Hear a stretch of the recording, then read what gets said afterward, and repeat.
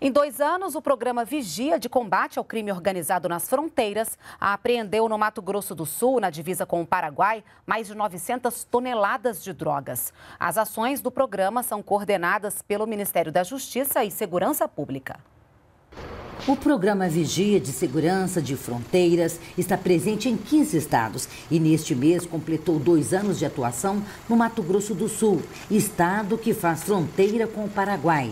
No período foram presas mais de 3.300 pessoas e apreendidos cerca de 3 mil veículos, mais de 400 armas e várias toneladas de drogas. Esse resultado representa em números, números expressivos já de mais de 900 toneladas de drogas apreendidas e um prejuízo estimado na, vila, na ordem de 1,8 bilhão de reais aos criminosos. O governo federal investiu em dois anos mais de 1 milhão e 300 mil reais em capacitações de policiais e cerca de 130 milhões de reais em aquisições de equipamentos para dar suporte às equipes em campo. Nós já temos já previstos investimentos agora para o Estado do Mato Grosso do Sul, só agora no segundo semestre, a ordem de 16 milhões de reais.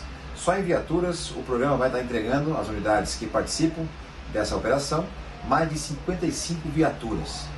São equipamentos, placas, OVNs que vão estar ajudando ao nosso operador de fronteira no combate ao crime organizado.